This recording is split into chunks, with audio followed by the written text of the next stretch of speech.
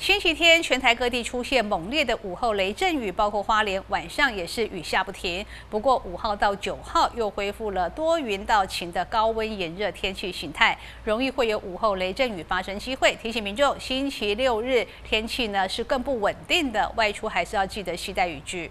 中央气象局表示，午后旺盛的热对流为周日的午后带来雷阵雨到午夜。五日周一起，各地将为多云到晴的高温炎热天气形态，需留意午后雷阵雨发生。气象局也对花莲发出高温三十八度以上的橙色灯号警示。从五号一直到九号啊，其实就是一个天气白天比较天气比较晴朗了，但是因为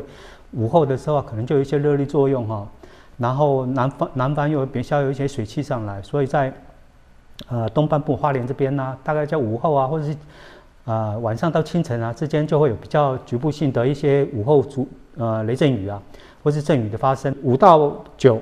就是一个午后的。天气形态就有点类似，比较像夏天呐，午后热对流啊，下的雨比较多的一个情形啊，所以我们可以看到，所以晚上啊，基本上都会有一些雨的一个情形啊，白天大概都是天气比较晴朗，然后就是有一些阴啊，或者是到午后的时候就有一些下一个雨的一个情形。那十号、十一号大概就受到封面跟南方水汽的影响，所以我们整个白天跟晚上啊，水汽可能就都比较多一点点。气象局提醒，未来一周天气将越来越不稳定。周三到周五水汽增加，午后水汽更明显。周末封面接近，加上南风带来水汽，天气将更不稳定，降雨几率提高。提醒民众出门留意天气变化，备雨具遮阳也挡雨。